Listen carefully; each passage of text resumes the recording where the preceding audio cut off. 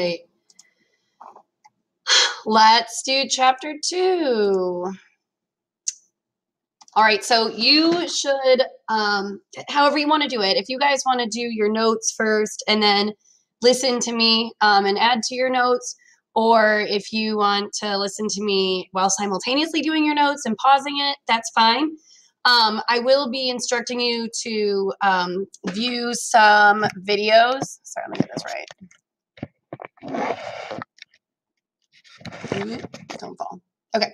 I, I will be um, instructing you guys to view some videos. Of course, you can't click those links while you're watching this video, but you can click the links when you're actually on the notes.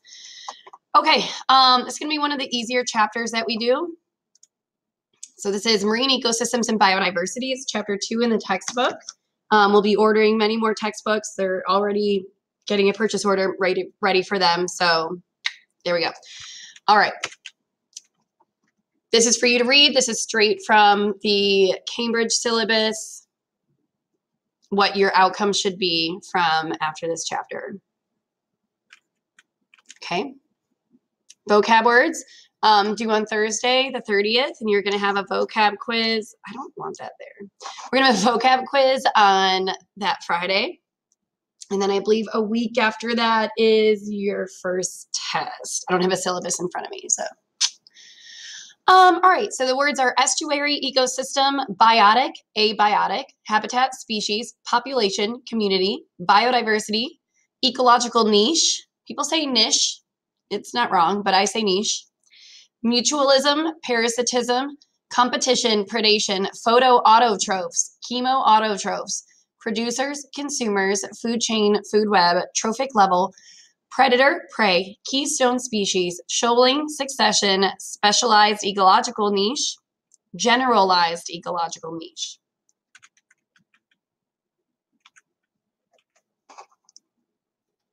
Okay, just a little bio review.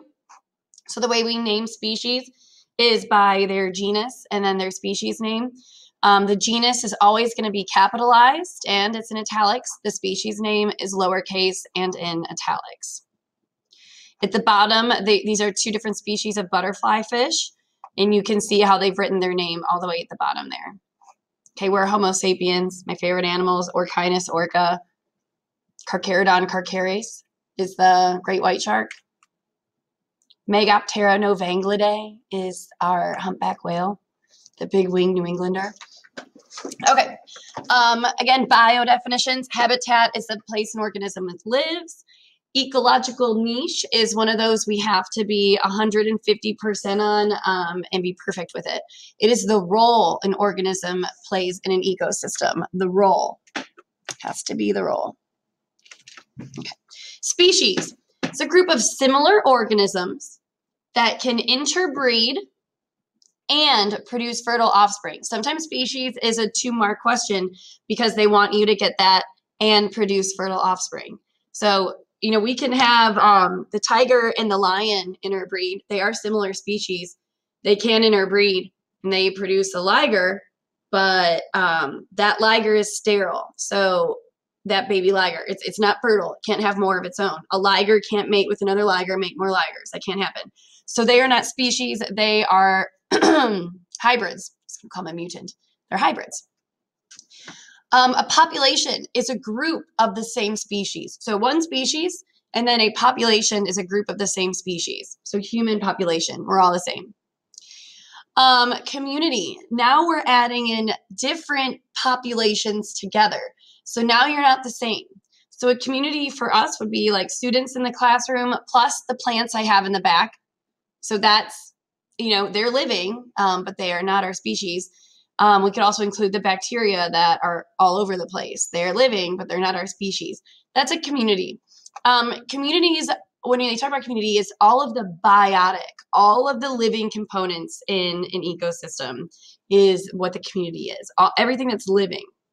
Population is a group of the same. Community is going to be multiple groups of populations. Ecosystem. So ecosystem now it includes your biotic components, the living components, and the abiotic components. So um, living organisms and the chemical and physical factors that influence them. So we have the living portion, Wonder. Just trying something out. Let's see.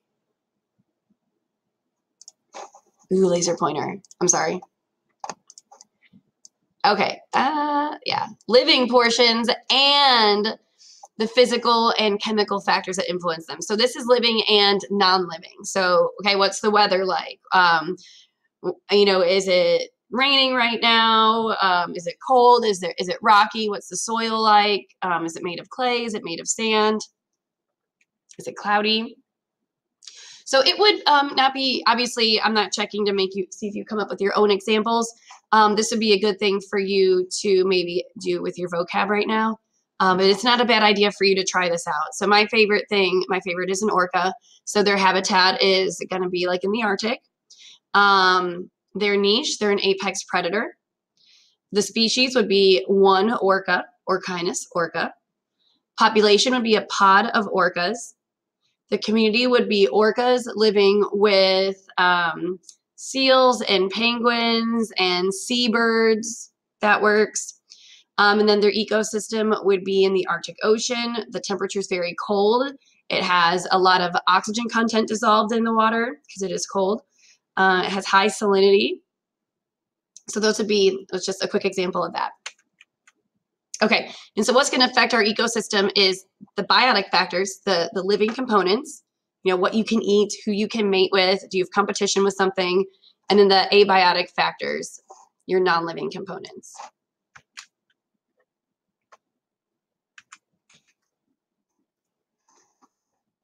One. There we go. Biotic um, means living. So right here in the middle, um, we have the Greek words. Bio is living. Tic means to be pertaining to. Um, so biotic is pertaining to life, and abiotic is not pertaining to life. Biotic or living components. Sometimes it's hard for students to think about that, but um, it's going to be predation. So that is a living component, a, um, a predator hunting a prey. Um, symbiosis is a living component. Having a relationship, whether it's mutualistic, parasitistic, or commensalistic, doesn't matter. Having that interpopulation or interspecies relationship. Um, availability of mates is a living biotic component. Availability of food is a living biotic component. Um, we can't say availability of habitats because depending on where you live, it might not be a living component. I don't know if I said competition, but competition is one as well. Okay, abiotic is non-living. So again, what's the temperature like? What's the soil condition? Um, what's the water temperature? The weather all the time. That's that's your living non-living component, the abiotic. Okay, let me pause. Ooh. One second. Okay, we're back. Um, so a marine ecosystem example would be like a rocky shore. So it's going to be the organisms that are living there and um, they're linked together with their flow of energy, kind of like a trophic level transfer, who eats who, who's dependent on who, um, and their environment. So a lot of abiotic factors here are um, you have the tide change. So you have some organisms that are exposed once the tide goes out. Um, you have a very rocky substrate or um, surface. Get used to that word substrate. Substrate is the surface in which you grow on. So a sandy substrate, a rocky substrate, a marsh or mud substrate. Um, the waves get quite big there. Okay, um, uh, weathering is high. There's a lot of weathering. And so that, that's just some of the, the abiotic components for that ecosystem.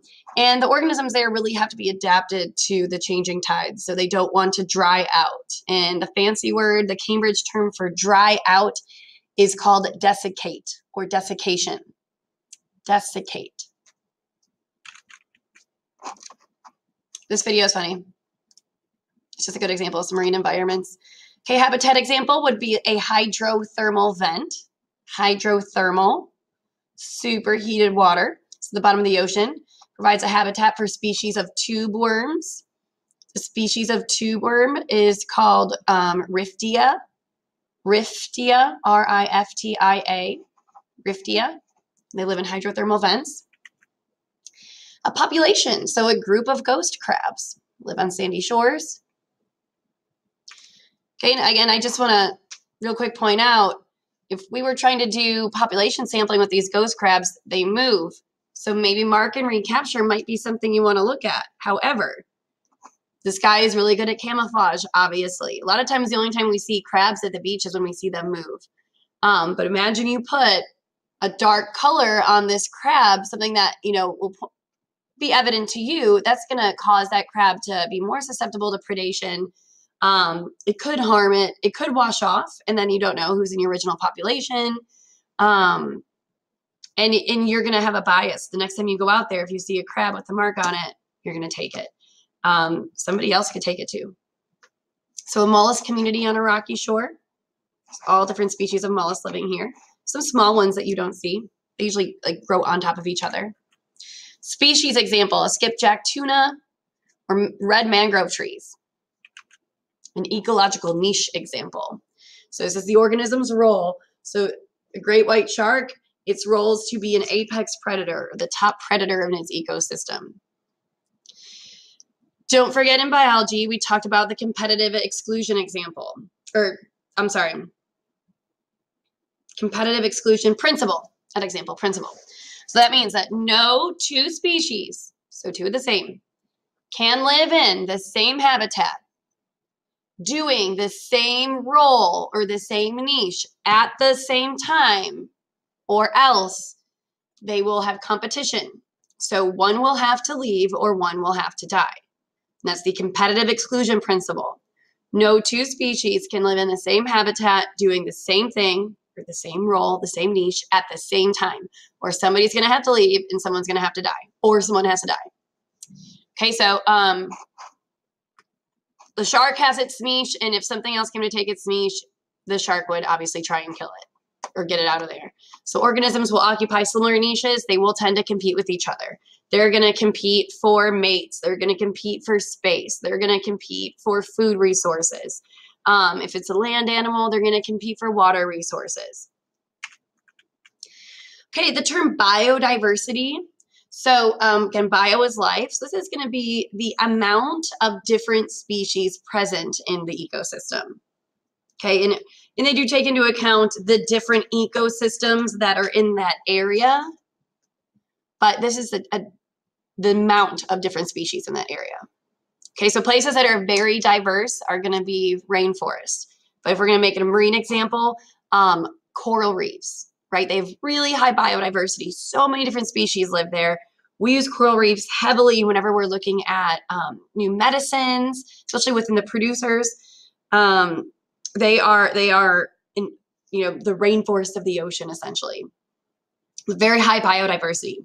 Um, a sandy shore, low biodiversity. There are not many organisms that can live within the sand, that many at all, because they have to be able to adapt to being underwater occasionally um, and then exposed and out against the elements, against the sun, against the cold, against rain, against predators.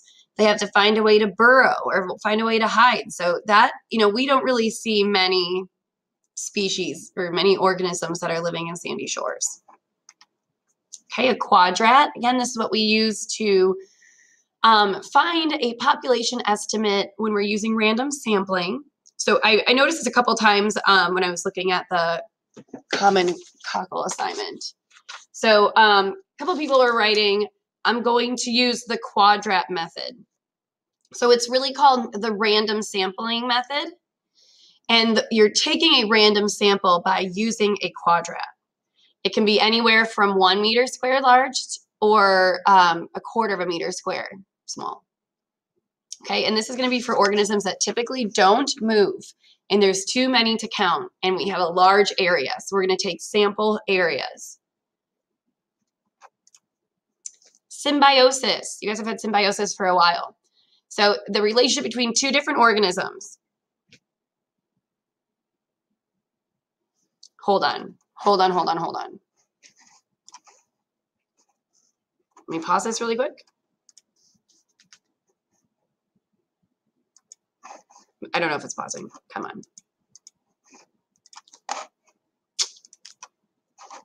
Okay, um, big mistake here.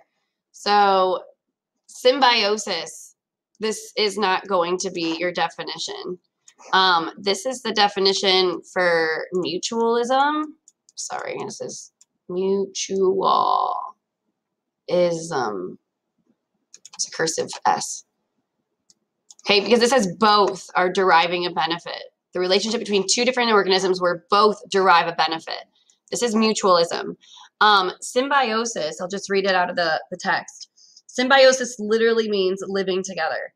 The term refers to the interspecies relationship between two or more organisms from different species living in close physical association. Okay.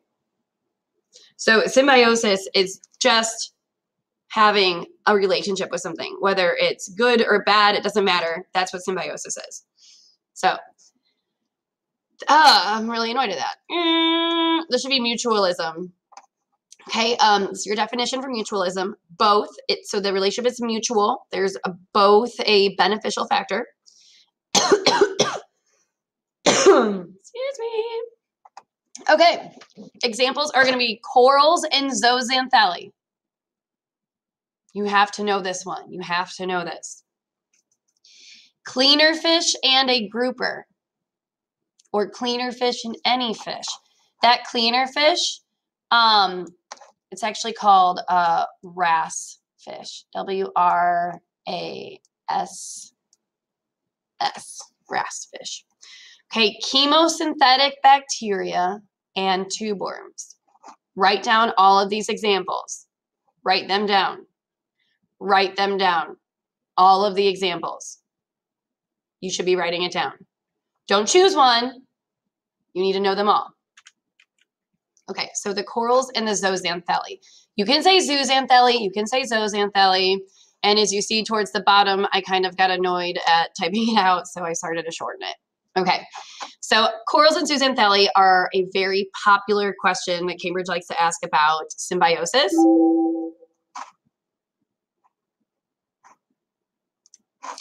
Um, so zooxanthellae is a symbiotic algae that lives within stony corals a symbiotic algae that lives within stony corals. So it's doing a job. It has a relationship with the corals. Okay, it's a dinoflagellate. Dinoflagellate. Dino means whirling, and then flagella, uh, or flagellate is from the word flagellum, which means whip. And zooxanthellae have, or I'm sorry, dinoflagellates have that flagellum that whirls, that goes in a circle. Um, so how do they relate to each other? Corals um, provide a safe and nutrient-rich environment for the algae. Okay, so I'll, I'll, there's a couple on the side and then I'll read a couple more that are a little bit more in depth. Corals cannot create their own energy, so they use carbohydrates created through photosynthesis. It's the zooxanthellae. They are the algae. They are green. It's the zooxanthellae that is doing photosynthesis inside of the coral, inside of it and the coral is going to be able to you know take some of that carbohydrates that are made and use it for itself corals are alive however they cannot make their own energy and they cannot get enough energy take in enough to keep them alive so they have to have the zooxanthellae component to help them okay um great how do the zooxanthellae benefit they help create carbon for the calcium carbonate that the corals are made of. All right, and I'll read a little bit more. Um, so as the coral grows, it respires aer um, aerobically. And it will also, that will also provide the zooxanthellae for carbon dioxide that it needs to do for photosynthesis. All living things are going to respire. The zooxanthellae is also going to respire. The corals also respire. Okay. Um, the carbon from the zooxanthellae gets incorporated here in this calcium carbonate shell. All shells are made of calcium carbonate. Um, the last one, the zooxanthellae provide a safe habitat um, with a big surface area so it can absorb light. They're provided with that from the coral. Um, the zooxanthellae also obtain other minerals from the coral's waste products. For example, um, nitrogen compounds, so that they can make proteins, and they can make ATP, and they can make DNA. They also can use phosphates from the coral's waste products um, to create deoxyribonucleic acid to make DNA, um, to make ATP, adenosine triphosphate. Also, the phosphates help on cell membranes as well, that phospholipid membrane. So they both help each other in multiple ways. Um, replay this back, listen to it again, pause it, write down what I have on the screen, write down what I just said, um, watch a video if necessary, whatever you need. Here's what they look like. So corals actually, uh, you know, they're a natural like carbonate shell color. They're going to be like white. And when we see color, you're actually seeing the zooxanthellae that live inside of it. So if we look at a coral anatomy, and you don't need to know the coral anatomy, but it should help you understand. They have this calcium carbonate skeleton. Okay, calcium carbonate is kind of like chalk, but it's it's harder. Um, this is why they can dissolve whenever it gets acidic. All right, um, looking at right at the edge of their tentacles. Okay, here's their mouth so they can eat. Um, but here's the edge of their tentacles. And like I said, they don't take in enough energy through eating. If we zoom in, on the outside, we have these little cells. They're called nematocysts, they're. And what's inside of them is a nematocyst, like a stinging, it's like a, a needle. And that's why some corals can sting you. Um, jellyfish also have nematocytes. Remember, cyto is cell. So these are stinging cells. And what stings you is this tiny little, you know, almost microscopic dagger. It's called a nematocyst, N E M A. Okay, underneath that tissue is where the zooxanthellae live. When corals are young, they like suck in these zooxanthellae and then they assimilate them into their body tissues. And so the zooxanthellae, of course, need to be on the outside of the tentacle so that they can take in all of the sunlight that they can because they're photosynthesizers. And their photosynthesis also helps the coral, um, you know, have energy and have, have a carbohydrate source. So um, corals and zooxanthellae are completely separate. They're besties, but they are completely separate. If you see a color associated with a coral, you are seeing pigments from the zooxanthellae. They don't just have um, chlorophyll. That's their primary pigment for photosynthesis, but that's not all they have. Here we can see it under um, a microscope.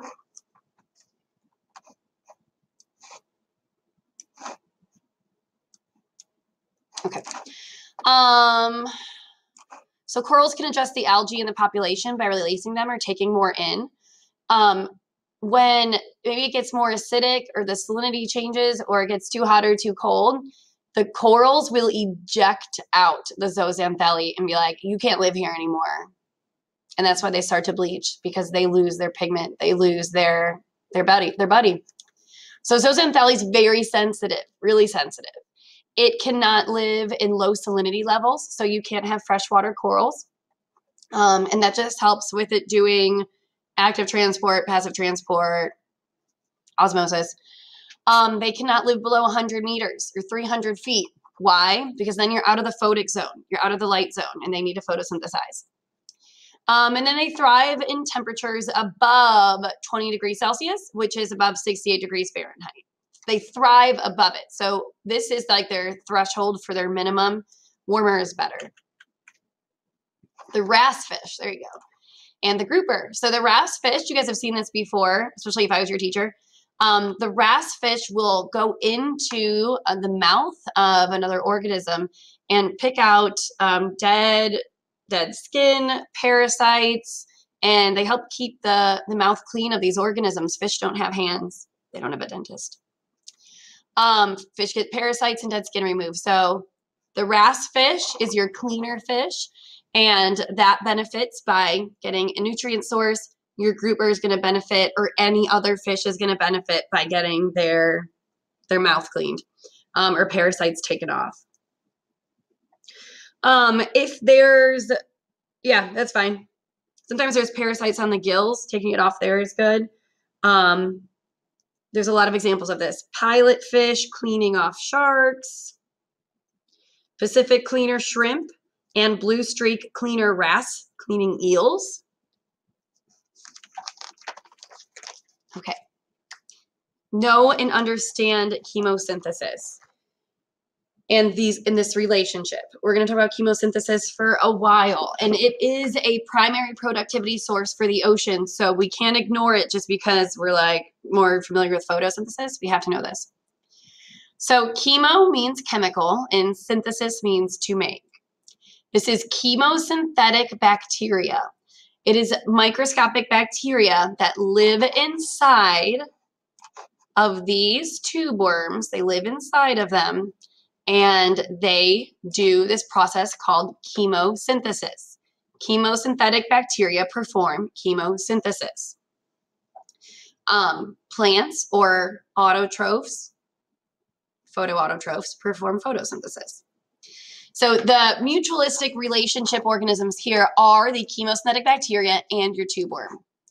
So a hydrothermal vent, hydro is water, thermal is heat. These are vents powered by like volcanic heat from underneath the earth.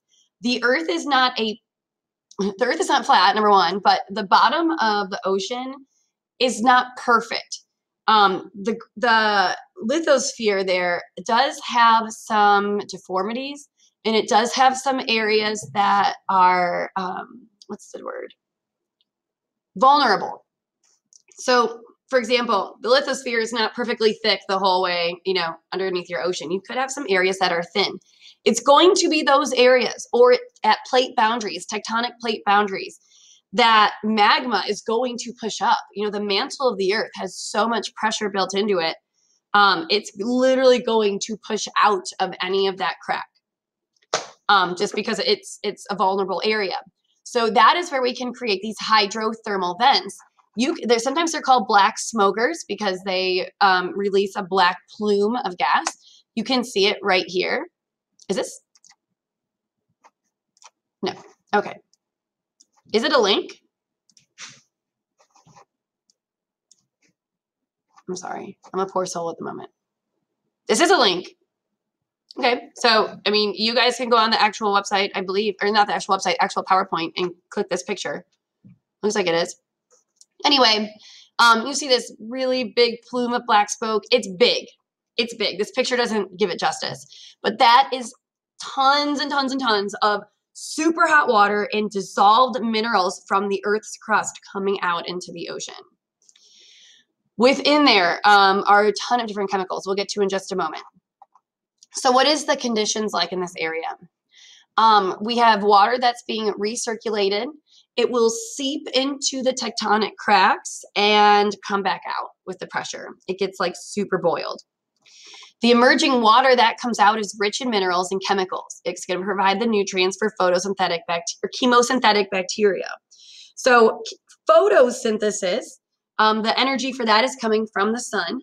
Chemosynthesis, the energy from that is coming from chemicals that come out of these hydrothermal vents and the chemicals are from the crust of the earth.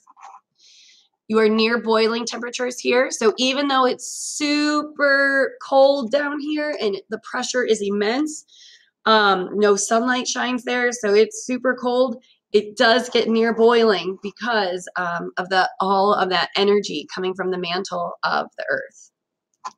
Tons of pressure. Um, there's no light, and they are also called black smokers. These conditions what it's like there. You need to know them. So let's talk about the, the actual relationship. So tube worms. The tube worm species is called Riftia pachyptila. We can call it Riftia. You need to know Riftia. So, um, Riftia, they don't have a mouth. They don't have a di digestive tract. So I'll talk about um, on the next slide, I believe, how they get bacteria inside of them. Okay. Um, so inside of the tube worms, just like inside our intestines and inside our stomach, we have um, symbiotic bacteria that live in there, help break down our food. Um, chemosynthetic bacteria live inside the tube worms. They live, oops, down here in the white area. The white area is called chitin. It's like um, it's similar to keratin, but chitin is um, like the exoskeleton of arthropods, a cockroach, a beetle. Those are chitin. Okay, so the chemosynthetic bacteria live inside the tube worm. Awesome. Tube worm doesn't have a mouth or digestive tract, so it can't eat food itself. It's going to rely on this bacteria. Um, they provide energy for the tube worms from hydrogen sulfide hydrogen sulfide that comes from the vents. Know this. So for photosynthesis, your energy component is sunlight.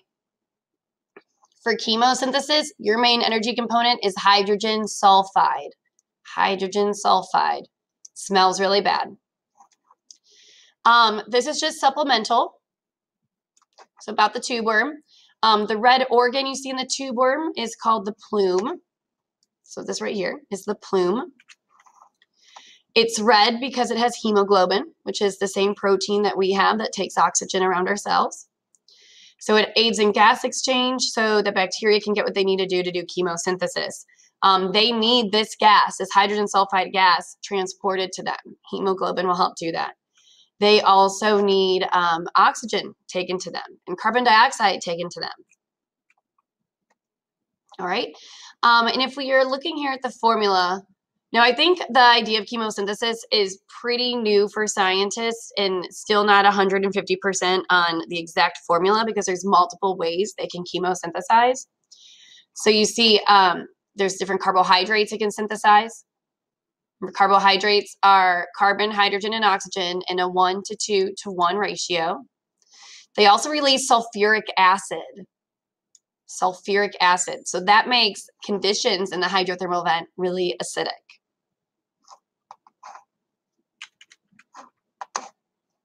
But um, back to what I was saying, I've seen chemosynthesis formulas with multiple different energy sources, not necessarily always hydrogen sulfide.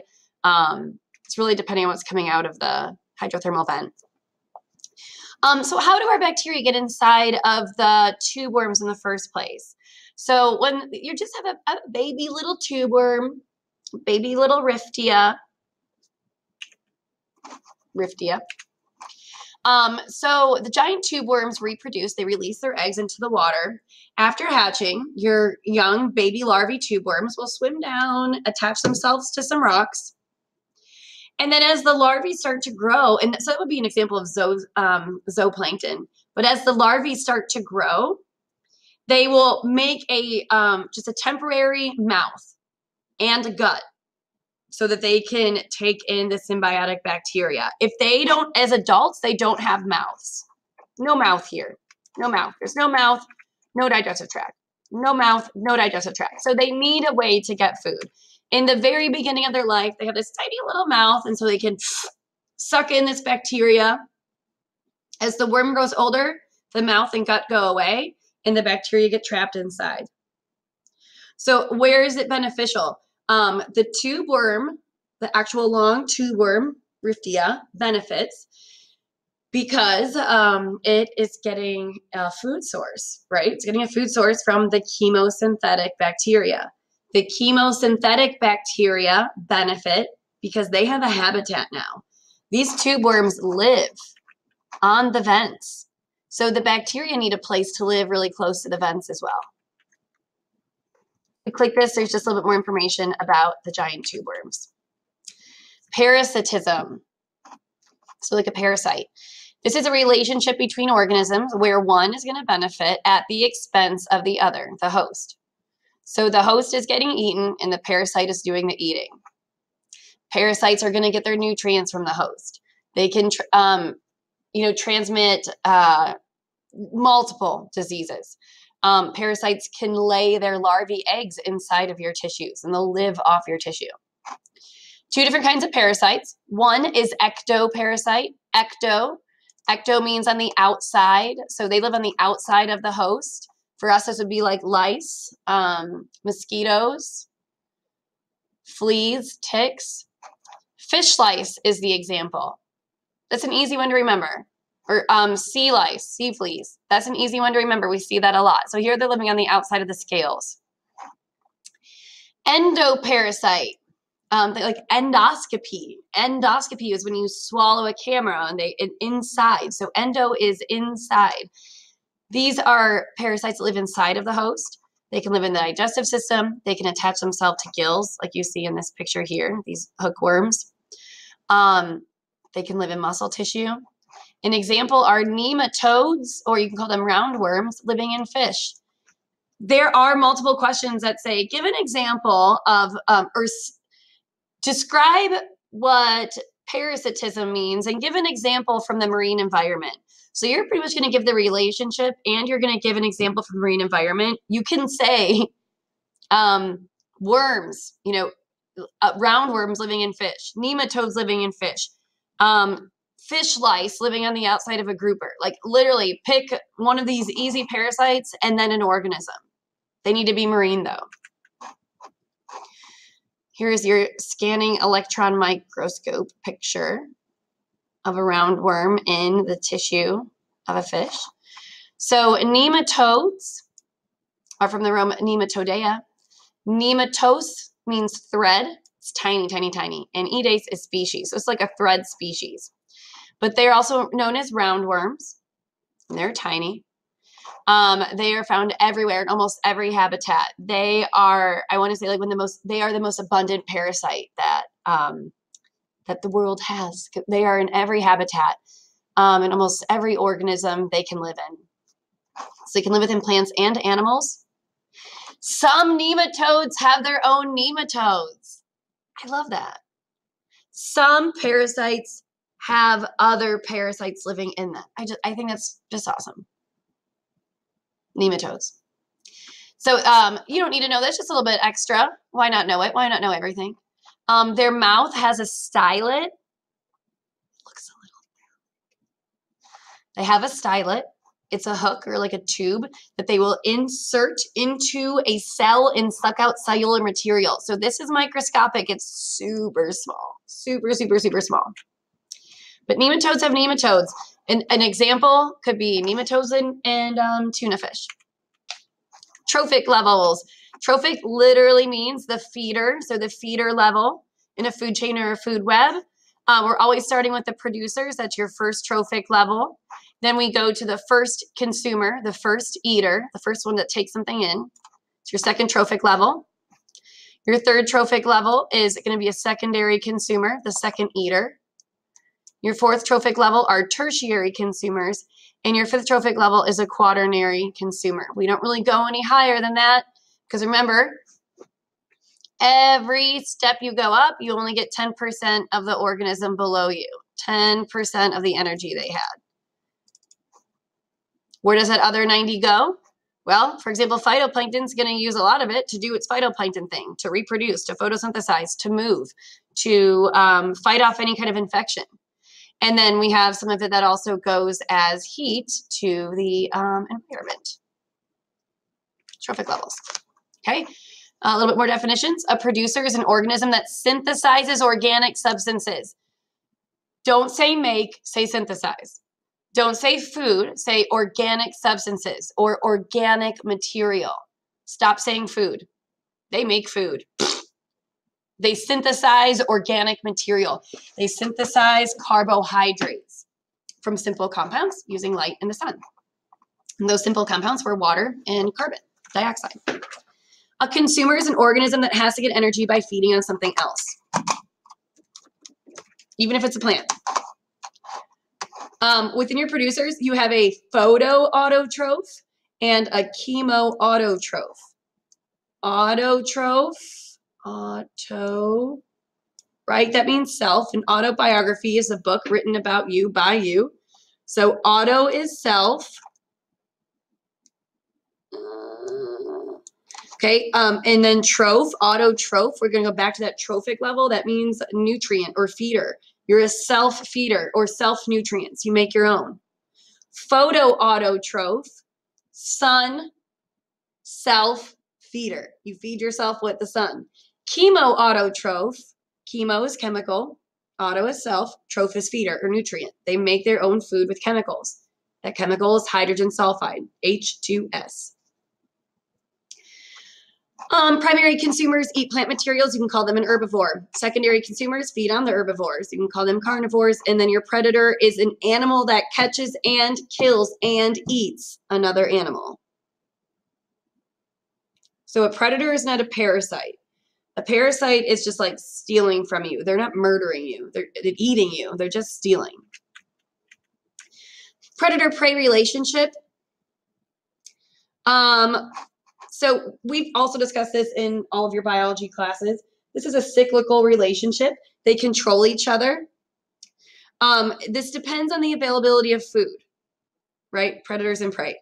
So as your prey population starts to increase, let's say your your small fish, your shark population can start to increase. If your shark population gets too big, they're going to start to eat too many fish. Well, that sucks the fish population is going to go down. And then the shark population is going to go down. And because the shark population continues to go down and there's less predators, now the fish population can pop back up. And as the fish start increasing, over time, the sharks will start increasing. And then there's too many sharks, they eat too many fish, and then the fish go down. So then the sharks will start to starve and go down. They compete. Sharks go down, fish realize that they come back up. And there is a lag time in between. It's really important for all these predator prey examples or looking at a predator prey graph. You always, always, always need to mention that there's a lag time, right? A lag. If your computer or internet is lagging, it's going slow. And this is because it's not like when sharks start to starve and die, fish are not watching them and saying, oh my gosh, that shark just died. We can have 20,000 more kids. And immediately here come out 20,000. It doesn't happen. It takes some time for the environment to realize that there's a loss of predator and your prey, for example, in this, in this one, your fish, can start to mate, find a habitat, you know, have their eggs, lay their eggs. Those fish grow, move on to a, you know, large enough size that they're going to be eaten. It takes some time. Likewise, as your fish start reproducing more and they're starting to grow, it's not like the sharks are like, oh my gosh, they just laid 20,000 eggs. Quick, here's 20 more sharks. That doesn't happen. It takes time. We have to be mentioning the lag time. This is a cool video. Watch it. It is, um, this video is, um, uh, sea stars feeding on mussels. And a lot of you guys, um, it's just going to take too long to actually show it. Please watch it. Um, a lot of you guys have, or people have asked me before, um, how do starfish eat? And it's they, you know, eject out their stomach into their prey. They, ins- there's a tiny, tiny, tiny microscopic video camera inside of the mussel, and you can see in real time it is sped up you can see this happening their stomach coming into the mussel and then dissolving them watch it okay typical predator prey relationship there is a lag time nothing is happening simultaneously okay chemosynthesis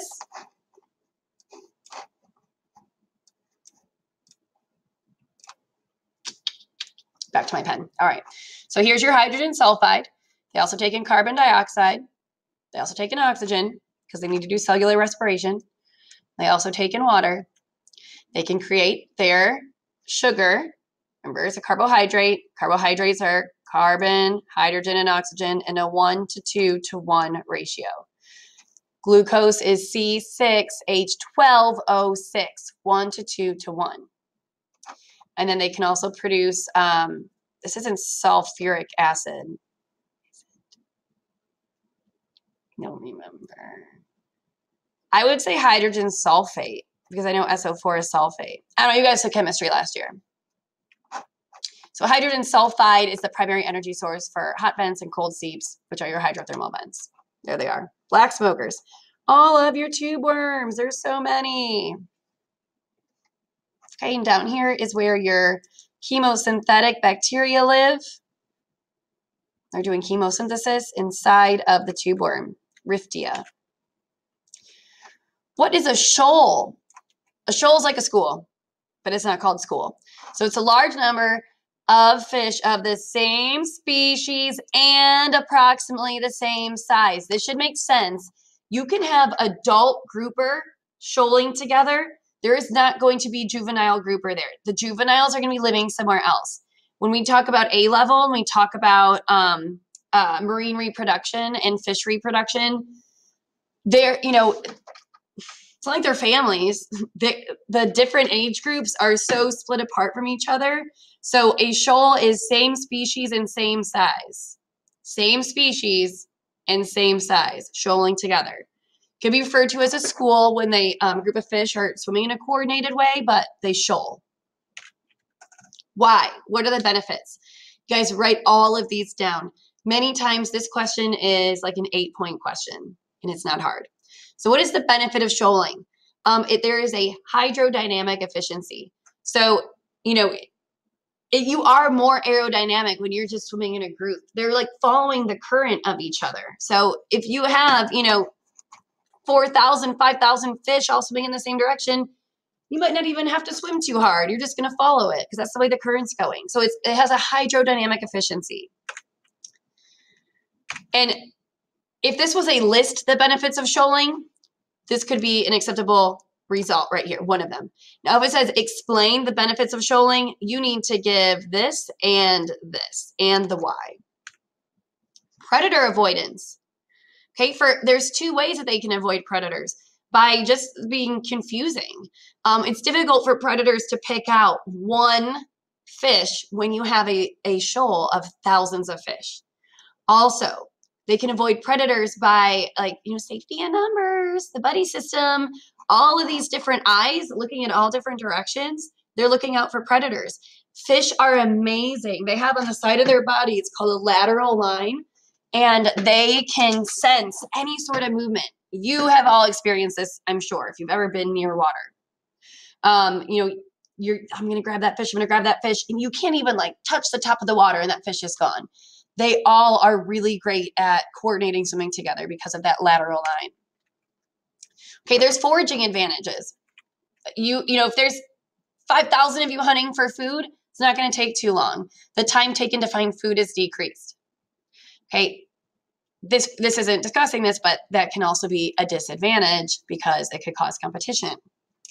Um, there are reproductive advantages you know you don't have to find a mate if there's 5000 for you to find it's way easier. You're not searching around for it. So having a group of five ten thousand fish together you can find a mate way better than if it was you know 20 okay so an example of sardines they form bait balls can make hundreds of thousands of sardines. Skipjack tuna can form shoals of up to 50000 individuals. Types of shoalers um, this is covered in the text. It really hasn't been covered heavily on any papers. So um, I would focus most on knowing what the benefits are. I'm not saying don't write this, write this because if you don't write it, you know for sure it's going to be on paper one. That's just the way that's going to go. But there's two types of shoalers. You could be obligate, like you're obligated. So um, you spend all your time shoaling, and when you're away from your group, uh, they get really agitated. They need to be in the group. Tuna, herring, anchovy, they're like that. Or um, facultative. Facultative? Facultative. I knew it. Oh my gosh. I'm a poor. I'm a poor one. Facultative.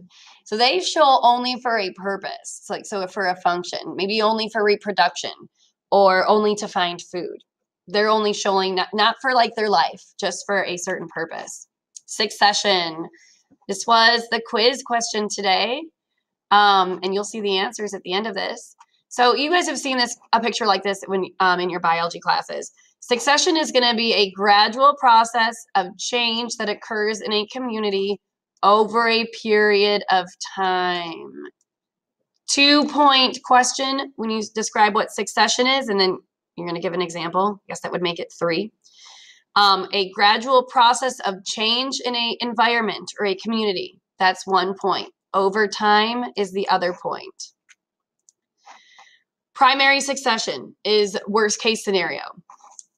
In primary succession, um, this would be like a bomb, a volcano, um, retreating glaciers that just scrape down all living material that are on any substrate, you know, whether it's rock or it's sand. And they're exposing new land, new land that has nothing living on it, nothing at all.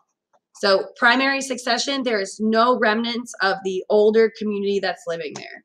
Nothing at all. There is no producer, there is nothing. The soil is not fertile. You got to start again from square one. Sorry. Secondary succession is a little bit better.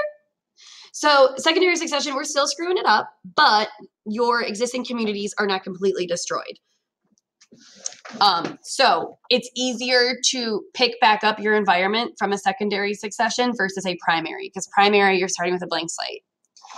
Um, this is faster again. If we're talking about on land, your soil still has some organic material. This would happen after a wildfire, hurricanes, floods, over farming, lodging, whale falls, synthetic coral reefs. Succession at hydrothermal vents. This could have been one of your answers on your quiz today. Um, so this is one of the first species that are going to inhabit a hydrothermal vent area. What, so like right when, right when the mantle of the earth is coming out of the um, coming out of the ocean, the bottom of the ocean, right? We have this underwater volcano happening. It's going to solidify and start to build your hydrothermal vents. But right when that happens, we have nothing living there. And the first organisms, we call them pioneer species, that are going to inhabit there is the, this tube worm called Tevnia. Tevnia is your first tube worm species to inhabit it. Okay. After Tevnia kind of sets up shop there, Tevnia gets taken over by a better, stronger, you know, better looking tube worm called Riftia. And it's faster growing. Riftias can be up to two meters long. This adult tube worm's been taken from its white tube. Gross. It's just gross. All right, know this. You need to know succession at a hydrothermal vent goes from Tevnia to Riftia. You're like, what? What are those words? I know. Literally, I know. I taught myself this last year, Tevnia and Riftia. I did not study hydrothermal vents in college. So, you know, write it multiple times, say it multiple times. You have to know it. Tevnia, and then it goes to Riftia. T and then R. Tevnia is little, so they're usually white, um, and it's stained brown here from iron, from the vent fluids, from every, like, because there's a lot of minerals coming out. Riftia is this longer tube worm, has that white chitin shell. Okay, again, Riftia. You don't need to know its body plan. A whale fall. Please watch both of these. They're awesome. They are awesome. So a whale fall is also a secondary succession. This is when the whale carcass sinks and a new ecosystem starts to grow on it. It's awesome. It's called a whale fall. This is another thing you could have written for your extra credit on your quiz today. Um, anybody who's maybe was absent on Friday and is taking the quiz on Monday, you do not get the opportunity for extra credit on the quiz. You have to be in attendance to have it. Okay, check out these videos. They're awesome. We're almost done. So extreme and um, instability in environments. So if we're looking, um, okay, extreme and unstable environments. So talking about um, their biodiversity, they tend to have low biodiversity. An extreme environment is going to be like um, the Arctic, like a, a glacier environment. Um, it's going to be definitely your hydrothermal vent environment. That's extreme. You have really acidic conditions, so you have low pH. Remember, that's that's acidic. Um, the pressure is unbelievably high. You have it's very dark. Um, it's very cold, but right here at your vents, the water is boiling. It is in it, yeah, and it's it's toxic. So that is going to have really low biodiversity. It is an extreme environment. It is a low biodiversity because not many organisms are adapted to living there. You need to have very specific adaptations to live there. Now, if we look over here um, at a sandy beach environment, this is also going to have low biodiversity. No, it's not extreme. It is not extreme, right? There's not extreme temperatures and the water boils and lightning strikes. It's, it's not extreme. The pressure isn't too high. The temperature isn't horrible, but it is unstable because you have the tide coming in and out. Um, you know, it ha- it's really susceptible to weather patterns and weathering. You can have organisms drying out easily. So for that, you have to have certain adaptations to live there. It is not a stable environment. It's not extreme. This one, not extreme, but it's not stable. Doesn't stay the same. Hydrothermal vent, it is stable. It does not change that often. Nothing's changing it. The tides going in and out is not changing it. The sun rising and setting is not changing it. It's stable, but it is very extreme. The conditions are extreme and they have low biodiversity. Now, if you have a stable and favorable environment, you're going to have very high biodiversity. So the temperature, you know, stays a relative constant or maybe only fluctuates within 20 degrees. Um, the pressure isn't too high, so you're not too far in the depths. The salinity isn't too high. The pH isn't crazy. Um, you're not exposed to sunlight and, and almost drying out. It's stable. Coral reefs, their environment stays stable all the time almost. And it's favorable. It is not extreme. So you're going to have high biodiversity there. A lot of organisms can live there and tolerate it. Two more slides. Okay. A specialized niche. Areas that have high biodiversity. High bio diversity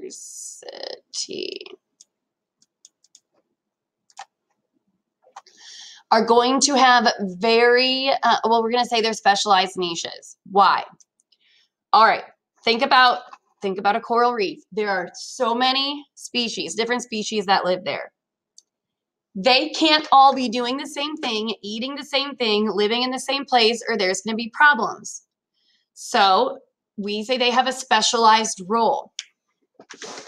Um, we also say they follow very narrow food requirements. There are so many organisms that we can't, in, in the coral reef, we can't say, okay, you guys can eat all of this. No, you can have this. You can have that. You can have this. You can have this. You can have this. You can only live right here. And you can only live right here. And you can only live right here.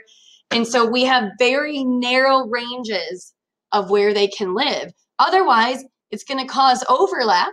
If two different species are sharing a food source, competition. Two different species are sharing a habitat, competition. So we say they um, places with high biodiversity or coral reefs are going to have very specialized niches because they can only have a narrow, you know, small area of where they can live and what they can eat. So specific habitats.